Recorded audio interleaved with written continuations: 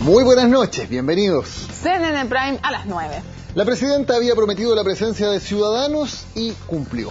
Los nombres escogidos por el Consejo Ciudadano Observadores para el proceso constituyente, la verdad es que se salen de lo común. Un artista como Juanita Parra, un futbolista como Jan Bosellur, una trabajadora de casa particular, empresarios. Periodistas y sí, también abogados cercanos tanto a la derecha como al oficialismo, garantizando pluralismo también político. Ellos serán los encargados de observar el proceso de una nueva constitución, una especie de garantes o de ministros de fe de que la participación ciudadana sea libre y no instrumentalizada por el gobierno.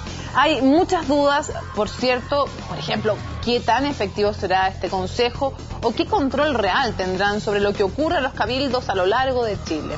Dudas legítimas que se suman a las muchas que ya existen sobre este proceso que podría desembocar en una nueva constitución. Pero que se conjugan con una primera promesa cumplida, al menos en términos de diversidad y participación. Hoy, en CNN Prime.